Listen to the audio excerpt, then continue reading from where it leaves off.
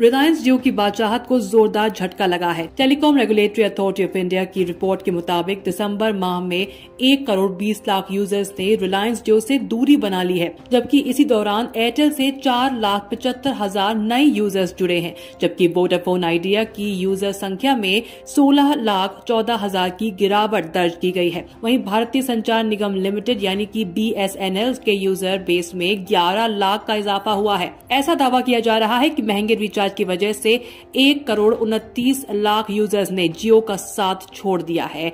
हालाँकि जहाँ जियो की संख्या घटी है, वहीं दूसरी तरफ़ एयरटेल और बीएसएनएल का यूज़र बेस बढ़ गया है। दावा किया जा रहा है कि जियो की तरफ़ से इनएक्टिव सब्सक्राइबर्स को हटाया गया है, जिसकी वजह से मोबाइल यूज़र्स की संख्या में गिरावट दर्ज की जा रही है। बता दें वीएलआर नाम की चीज़ होती है, जिसका फुल फॉर्म होता है विजिटर्स लोकेशन रजिस्टर ये एक्टिव सब्सक्राइबर्स का लेवल होता है, जो किसी नेटवर्क प्रोवाइडर की रेवेन्यू जनरेशन की क्षमता को दर्शाता है। साधारण शब्दों में कहें, अगर आपके पास एयरटेल और जियो दोनों के सिम है और एयरटेल का वीएलआर रेशियो 98 परसेंट है तो आप 98 परसेंट समय एयरटेल का सिम इस्तेमाल करेंगे। ऐसा माना जाता है कि जिसका वीएलआर अच्छा होता है तो आने वाले दिनों में वो अच्छा करेगी।